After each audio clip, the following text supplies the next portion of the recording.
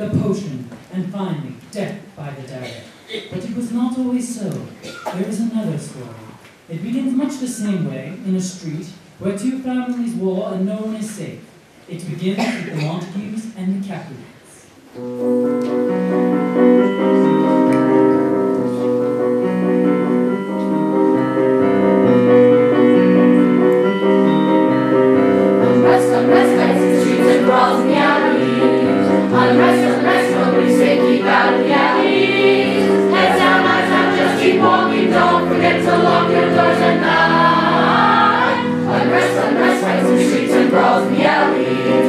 Unrest, unrest, keep out of the alleys. Can't remember how they started, all we know is keep a wary eye.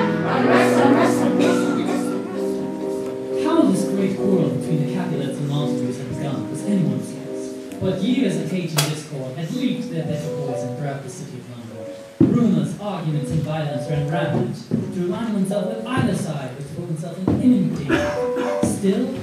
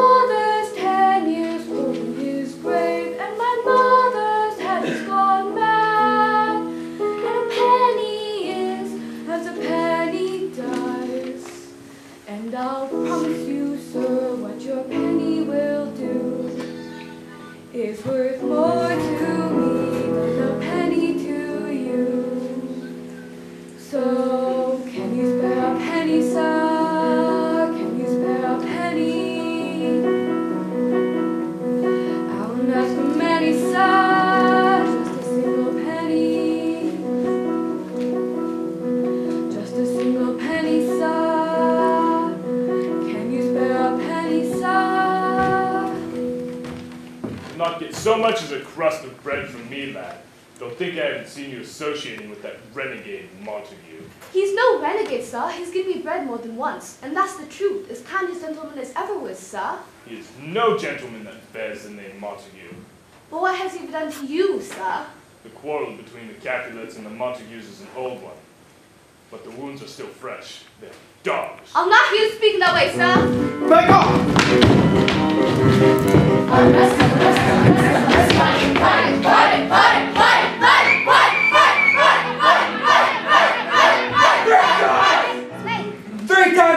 of and Capulet have disturbed our streets with riots and brawls. Now listen well, all of you. He who fights again shall do so on the pain of death. I neither know nor care why you feel in this manner, but I suggest you wait to be at peace with one another.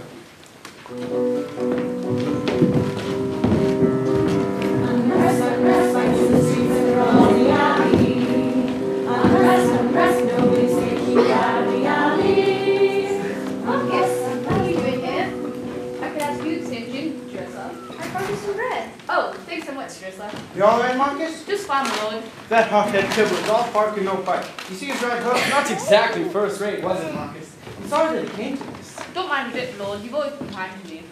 Marcus, you shouldn't pick fights with Tybalt. He's a lot better with his sword than his fists. That's all right. Benvolio came to me. Thank you, Ben. Truly, though, we should all be more careful. This isn't just bickering anymore. Blood is going to be spilt. Honestly, we shouldn't be speaking to you. Oh, get off your high horse. There was a time when I'm ashamed to talk to a monster. I'm not ashamed just realistic. Is that why you're working for them? That's not fair. Just a question. We do not all have the luxury of choosing who we work for, Romeo. I'd like to go to that gala tonight and give those Capulets a piece of my mind. You're not going near any, anywhere in the Capulet house tonight. Indeed, do not. Come along now, Marcus. You should as well. You know he's right. Uh, beg your pardon? I think someone should go to the gala tonight and do some spying on that madcap Tybalt. Why not us? Well, it's foolhardy for one. It is a mask, isn't it? No one will see us. Yes, but I. Then relax. We're going to pay a visit to Capulet House tonight. Besides, for Juliet Capulet is a rare beauty. I'd like to meet her. That is.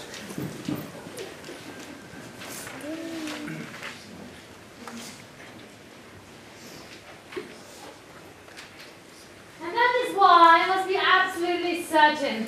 I need to be sure that Juliet will be properly cared for. She has no idea of how to manage her finances. I can assure you of that. Perfectly understandable. Might I ask who's the man? A Lord Paris Kensington. Oh, dead? Just. Ah, she'd be delighted, no doubt. I do hope so, although I have found it to be quite wayward of late. But at least my mind will be at ease. And your husband's as well, I'm sure. Oh, thank you, Mr. Lawrence. It is very good to have you here while Lord Capulet is away. I'm afraid I have yet to hear from him. We're most courageous, madame. Ships are beating faster by day, told. Soon a trip to the East Indies will be as as a walk down the street.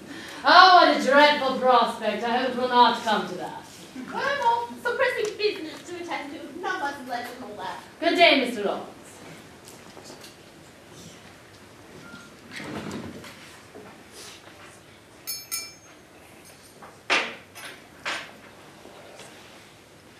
You called, madam? Yes, I will need everything to be in place no later than five o'clock, Wiggins. I have no doubt, madam. What's that, Wiggins? Nothing, madam. Rosie has dusted and polished every room but the library. Now that you've arranged everything on your new bookcase, I expect she'll finish here. Well, please make sure she doesn't spend an excessive amount of time here. There's a great deal to do elsewhere. Are there any letters from Lord Capulet? No, ma'am, but he's only been gone a week. I don't expect we'll hear from him till he's arrived at port. What you expect does not interest me, Wiggins. Now, please make sure that cook does not waste any strawberries in the garnishes. I hate a wanton disregard for budgeting. I shall be sure to mention your ladyship's disapproval of the strawberry garnishes. Are there any other wanton activities at which you'd like me to caution the household? Yes, I would like to remind you that no one, not even you, is irreplaceable. Will that be all, madam? Yes, your company here is no longer required.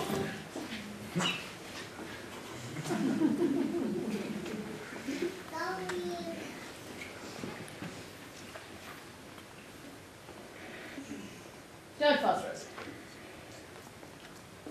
Ah, Juliet. You're looking unusually sallow today. What are you wearing this evening? I thought I'd wear that yellow evening. Oh no, you look positively ashen and yellow. I will not allow it. But Father got Don't speak. Your voice is like a locomotive. You wear your blue chiffon.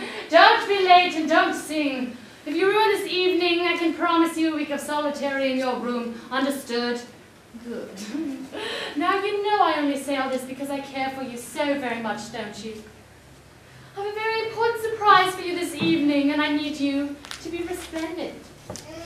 Now, fetch Wiggins and tell her to bring me some peppermint tea. You've given me a headache.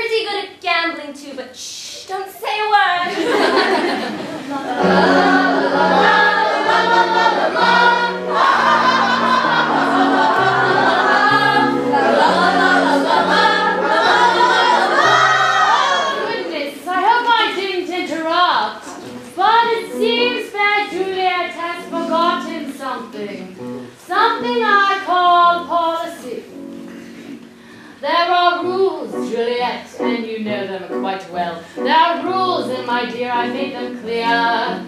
Did I stutter when I told you? No, I'm really sure I didn't. Could it be you've taken fever and forgot? She'll survive. Were you hit upon the head and can't remember what I said? Or could it be you simply chose to disobey? Oh, my darling little puppet, you're my sweetest pride and joy. Won't you kindly try remembering what I say? Seen and not heard. Good. Seen and not heard, seen and not heard. Children must always be seen, never heard. Now don't make me send you way up to your bedroom again. Quiet, that's better. Go away. Seen and not heard,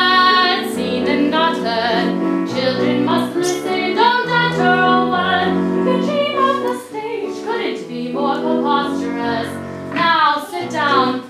I have something to say. Hmm. This is Lord Paris Kensington. Elated to meet you.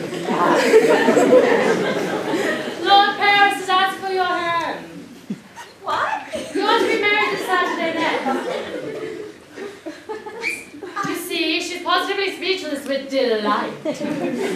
I too find myself overwhelmed with pleasure at the prospect of a prompt marriage.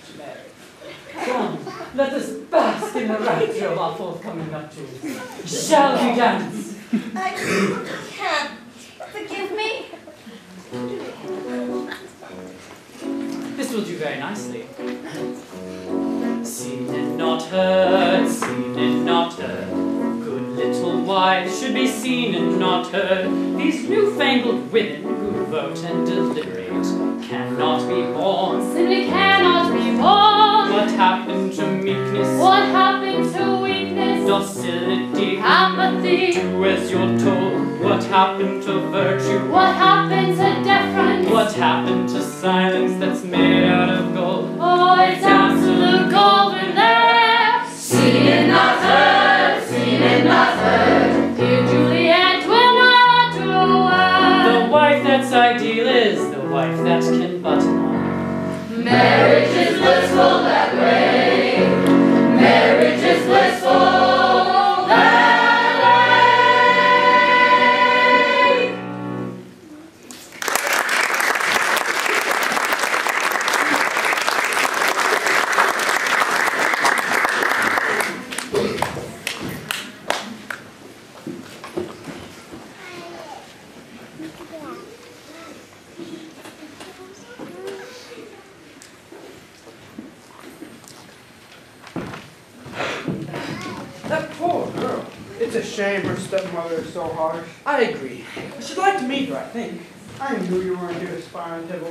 Yes, Ben, you're very smart. So, I suppose you'll ignore me if I tell you that is a terrible idea. Correct! Think I'll check the window. Well, good luck, old chap.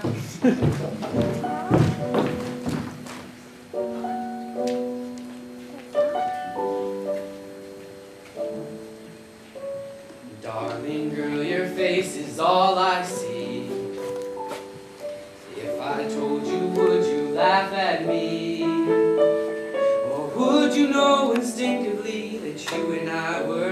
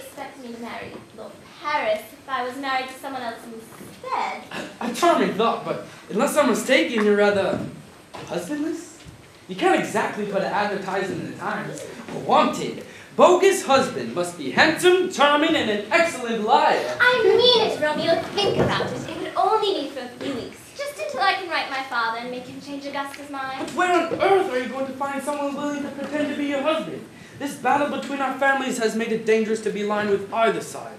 No one's going to willingly put himself in danger for a sham marriage. I mean, you're a very nice girl, but I just don't see it. What? You put yourself in danger. I, I, no, no, no, no, no. Meeting you in secret is one thing. Faking a marriage with you is something else entirely. But I thought you were smitten. Oh, but darling girl, of course I am. But you can't expect me to risk both of them. Very well. I shall marry Lord Paris Kensington. We shall have a great number of children, I shouldn't wonder. Now, just wait a minute. I just need some time to mull it over that all. Just give me one night. You shall have your answer. Oh, dear boy, I knew you would say yes. I'm not quite there yet. I shall send my answer to you in the morning. I think we're going to be a charming couple. Good night, sweet Romeo. Night. That's glory!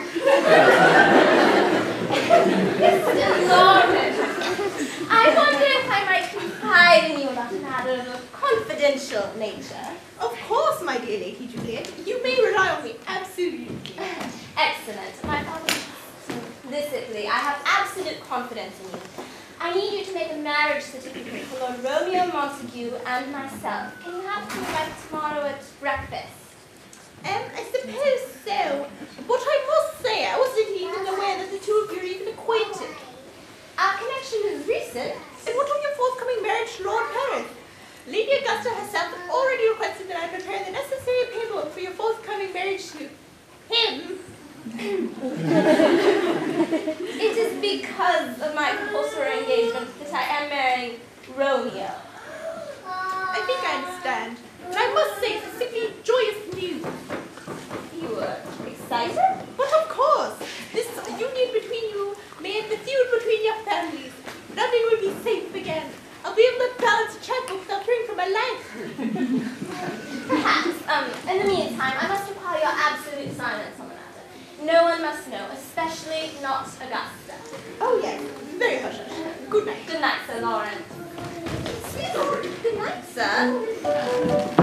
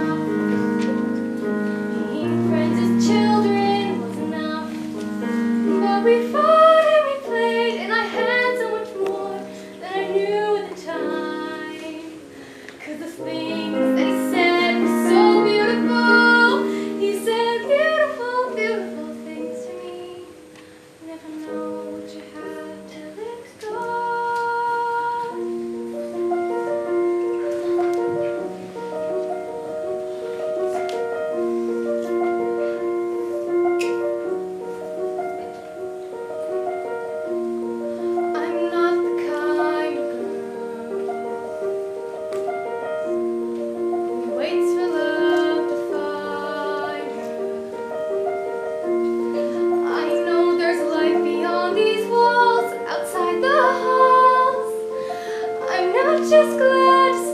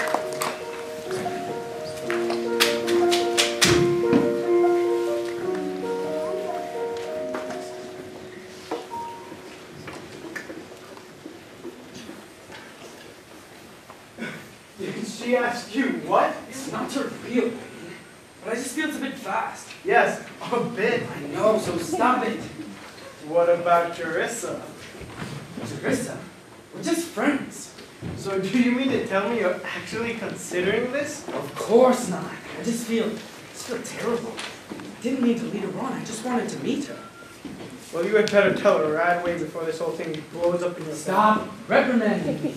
Well, well, well. Romeo Montague, I have a word you, sir. Not now, Tybalt. I want no more of this quarreling. No, that was you at the gala last night, wasn't it? Though you were disguised, I recognized your voice. I think we better leave. How dare you corrupt our congregation with the filth of your name? Tybalt, put this dispute to rest. There are more hearts at stake here than yours and mine. To be sure, your heart is at stake. I shall slash it. Do not make me fight you. I shall not. Defend yourself, Montague. You'll not harm him, sir. Out of my way. Marcus! On my soul, Tybalt. You shall pay dearly for this. Ready to fight me now, coward?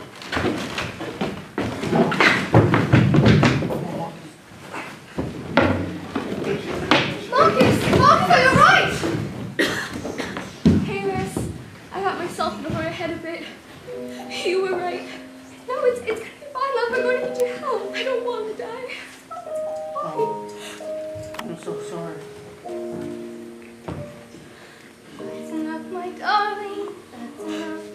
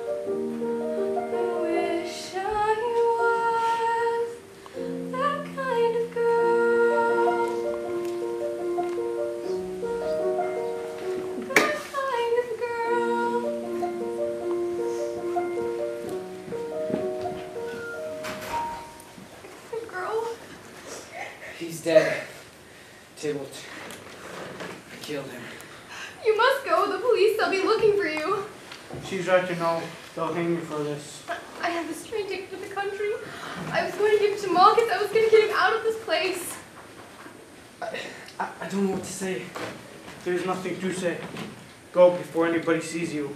Thank you. I will write to you. And I will send word safe return. What about Juliet? I never told her. I will speak to Juliet.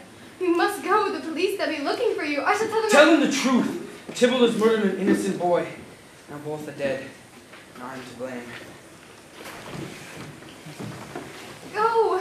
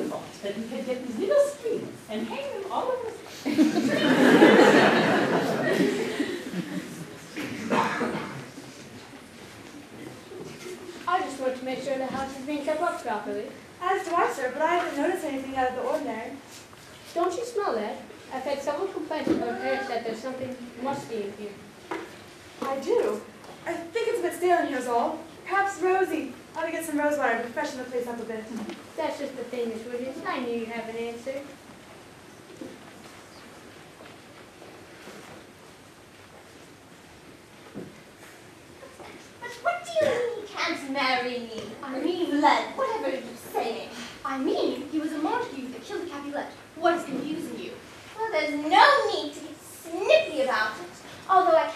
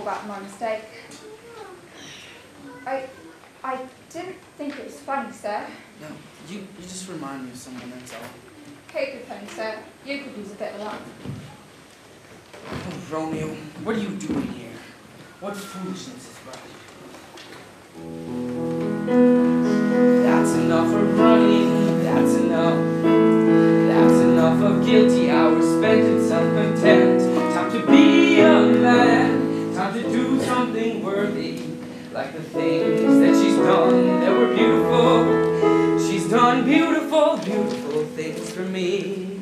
Never know what you have till it's gone. I, I have to go back.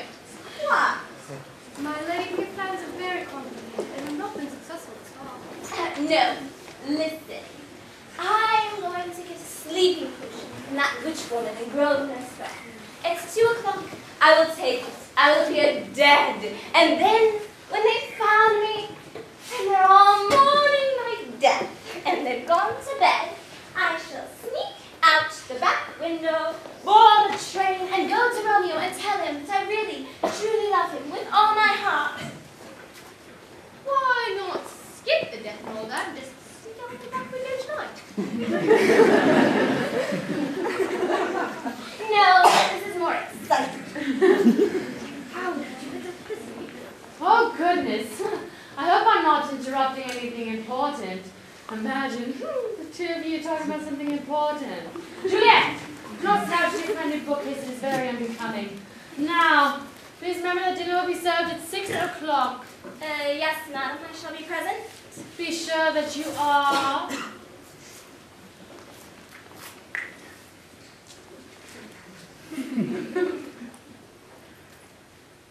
Fine then, you'll have it your way. I shall wire Romeo and tell him the plan. I think he will be truly delighted. He is very fond of you. Oh, I hope so. Thank you, Jerissa. You're a dear.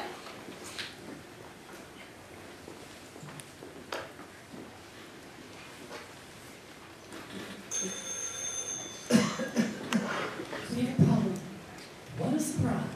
It's going to work in our favor. Fancy it is? Yes.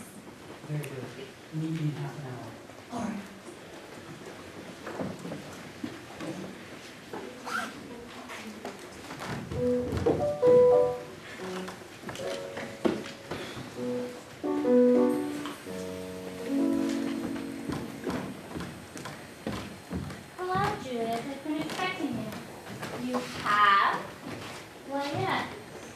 So you're a witch then? Don't like the term witch. Lots of bad publicity. Guilt by association. All that rubbish.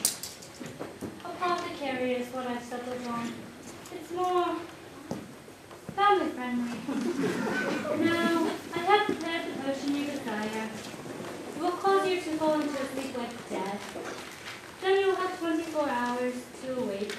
Groggy, but very much alive. Smells good too. Lambda infusion. Oh, thank you. This is just perfect. Of course, there will be a prize. Uh, yes, uh, here's your payment. Moment, talk to me. When we deceive, there is always a prize. Are you certain that this is worth the cost? Well, yes. I love him. Being with him is my only chance at happiness. Love, my dear, is usually not finding our own happiness. It's almost always about giving happiness to others. I see. There's still time, Juliet. Some damages have already been done, and you'll have to accept responsibility for that. But all is not decided yet. Take the potion and do what you know in your heart to right. I shall.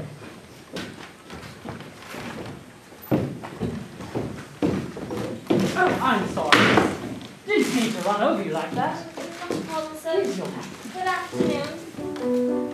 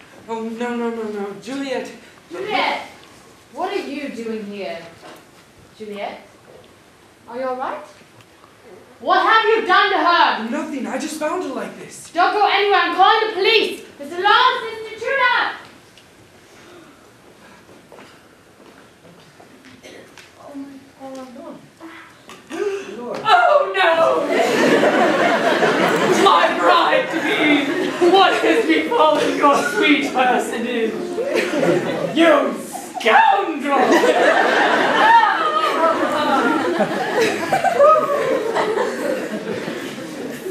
Jerissa, what happened to Juliet? What are you doing here? Didn't you get my wire? I, changed my mind. I've come back. What fire? Oh, never mind.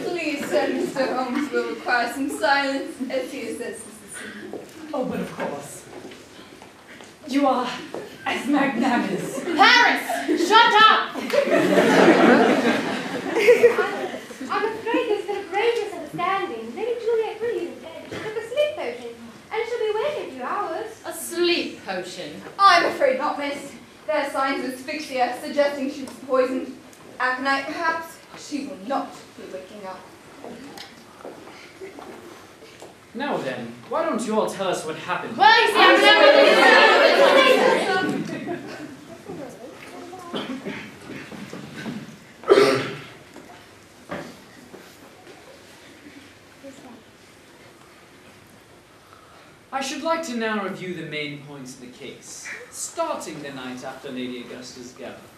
Watson? The morning after the gala. Lord Romeo and Lord Per... Lord Romeo and Lord, Lord Tybalt, ha, ha, they fight in the street. Romeo kills Tybalt, then flees to the country. Juliet purchases a sleeping potion from the apothecary. Did anyone accompany her? No, she was alone. Yes, she was in secret while I sent over after Romeo explained the plan. Juliet returns home to find Mr. Lawrence and Lady Augusta, who had just received a letter with news of Lord at sea. Romeo boards a train bound for London. The train departs at 11.05, including a taxi ride that puts him at Capulet's house at quarter past three. This is correct, Lord Montague. Yes, I remember because I ran into Miss Wiggins on the street, and she asked me for the time. It was 3.10. Lady Augusta hears man's voice in the library and enters to find Romeo Montague and the corpse of her stepdaughter. Yes, you can imagine my dismay.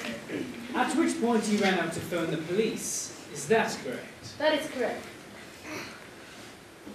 The entire household was notified. Oh, um, all except me, Mum. I was out on an errand. Were you sending a telegram, Miss Wiggins? Why, sir, I was. How did you know? Your boots are smattered with mud, indicating you've been walking in a particularly busy street in some haste. The post office at St. Martin's closes at 3.30, which would explain why you asked Romeo for the time as you rushed out the door. Just a simple deduction, really. That's enough of that. Let's talk about motive. Romeo Montague had lots of motive to kill the lady. She was trying to force him to marry her. Yes, and he already killed Tibbles. He hates the Capulets. If you're going to accuse Romeo, you might as well accuse me. I was the only other person who knew about the sleep potion. But what if the apothecary just mixed up the wrong potion, and it got her killed? I have but one more question, and then I shall answer you all. Constable, at what time did you receive a call from Lady Augusta reporting an intruder in her house? The call was made at 3.10 on the dot, sir. So, if at 3.10, Miss Wiggins was passing Romeo on the street and asking for time, that means that the call was made before Romeo had even entered. Very well. I shall now explain my findings. There was one point that Romeo just hit upon that everyone else seems to have forgotten. Juliet's trip to the apothecary.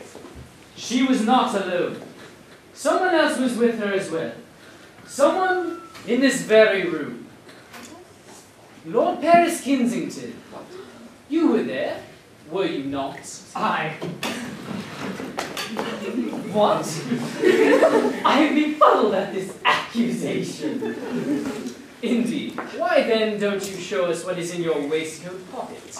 I most certainly will not, you pompous, insecure, Just inflated. do what Mr. Holmes says, Lord Paris.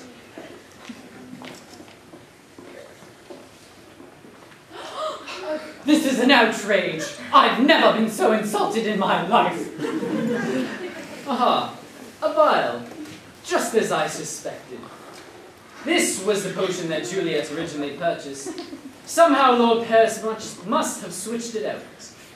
Perhaps you would enlighten us. I will do nothing of the kind. You are a discriminating miscreant and have no proof. Actually, I do. You see, when Watson asked if anyone had accompanied Juliet to the library. Oh, excuse me. Not the library. That was much later in the story. If anyone had accompanied her to the apothecary, it was you who answered first. You could have not possibly known you she visited unless you had followed her there. A chance meeting in the street, a collision, perhaps, would allow you to switch out her potion for a vial of poison. She did not recognize you because you were dressed as someone else. I believe, in fact, that you were dressed as an American. Mr. Andrew Draper. Constable, would you please remove Mr. Draper's wig and moustache and show us all what he really looks like? Oh, This never hold up in court. I have rights. Mr. Draper wanted for several petty crimes in America. You've been! But what could Mr. Draper possibly hope to gain from Juliet's death? Well, in the event of Lord Capulet's death, the money would then go to Lady Juliet, and at Juliet's death, it would then default to Lady Augusta. Indeed, however, Mr. Draper's plan was put to effect before anyone knew of Lord Capulet's death at sea. And that is the problem. Someone already did know that Lord Capulet was dead. Miss Wiggins, would you kindly hand me the telegram you sent earlier today? Just as I suspected, the handwriting on the letter and the handwriting on the telegram are a match. Dearest mother, Anna and I have struck it rich in England. Can't wait to tell you about it. We'll be coming back with new names just as soon as the will is executed. Regards to father. Sincerely, Agnes. Miss Wiggins? I'm afraid not. Lady Augusta, would you kindly step away from that bookcase, which you have so artfully been attempting to conceal? Observe the indentation in the couplet, suggesting that the old bookcase was of a different size. The shellness of the shelving. A book will scarcely fit. This bookcase is the key to the entire case. I'm afraid that smell is not the late Lady Juliet, but rather the late Lord Capulet. Oh my god. He never made it to India, did he, Lady Augusta? Or should I say, Miss Agnes Draper?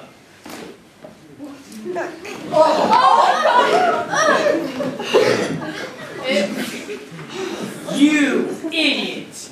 How could you be so stupid? The bookcase! You hid him in the bookcase! Well, I'm sorry for getting creative! It's not like I had any help. Huh. First, you marry the man without even making sure your name's on the bank account before you move right on to step two and bump him off. Then, you hide him in a bookcase in the middle of your house? How could you be so stupid? What an amateur! Oh, don't call me amateur, mister! I had the vial of potion in my pocket! You're such a narcissist! Thank you for both summing this all up so very well. The character of Lord Paris Kensington was Plan B. I see Mr. Draper would marry Juliet, thus gaining control of her money. When they discovered that Juliet was incorrect, they had a problem. you should have. Of course I heard you. Your whisper's like a foghorn. But there was one last contingency plan. Kill Juliet, and Agnes would inherit the entire fortune. She had but to prove that Lord Capulet was dead, without incriminating herself. Thus, the letter this afternoon. Unfortunately, Miss Draper's overconfidence got the better of her, and she also sent a telegram to Miss Wiggins, not realizing it would confirm her as Lord Capulet's killer. She must have seen Romeo in the street, realized he would be a convenient scapegoat, and so phoned the police before he even entered Capulet's house. Any questions? Well, don't all sit there so stunned. yes, he killed Juliet. Yes, he killed her father too. Yes, he killed them both to get the dough. Does that sound so very crazy to your little narrow minds? Always right and wrong, and right and wrong.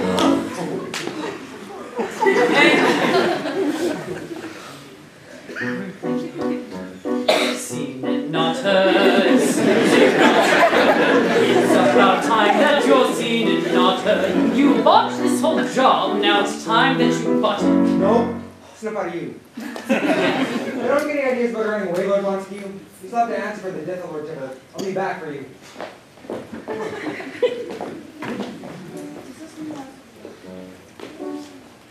Lady Augusta. Well, I think our work here's done. Indeed. I'm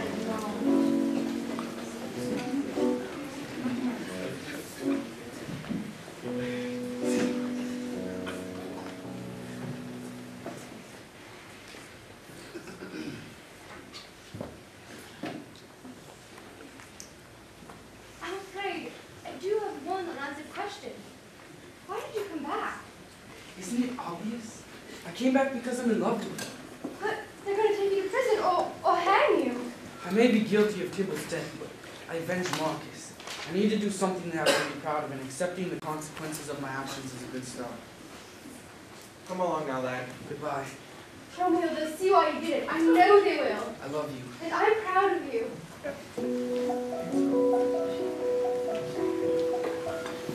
Not all stories have a happy ending. The story of Romeo and Juliet certainly does not, but the story of Romeo and Jerissa ends with hope. At Romeo's trial, all the apothecary testified his no one remembered her being there the day Marcus Tybalt died, but that is probably because she was a witch. I'm happy to tell you that the local magistrate was so intimidated by her that he immediately granted Romeo Montague a pardon. On the day he was released, he and Jerissa sailed to America to start a new story together. The Capulets and the Montagues did not immediately reconcile. Their redemption came slowly and painfully over the course of many generations, but eventually they learned to forgive.